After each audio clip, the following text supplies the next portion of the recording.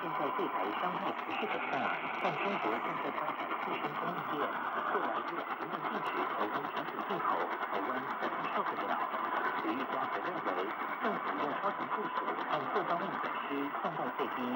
他还说，有看到新闻报道称，中国领导人习近平促成大局，不愿见到危机，这是好的转折点。否则硬碰硬、擦枪走火，对大家都不是好事。两岸应以大智慧来解决问题。央广播电台记者谢嘉欣报道。湖南异议人士谭冰林遭当局关押两个月，近日证实因为涉及寻衅滋事被刑事起诉。谭冰林近年来多次以个人的姿态维权，包括为抗议司法不公，阻止北京地铁列车的运行。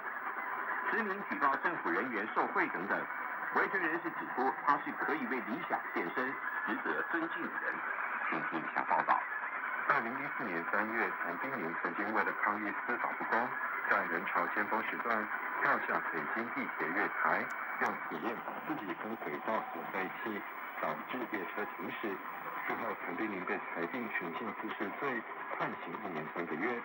去年一月，湖南衡阳祁东县有汽车检测站传出工作人员受贿，谭冰林验车时，检测站老板开了一张假的维修单，并且说给点高人就行，肯定把车头砸。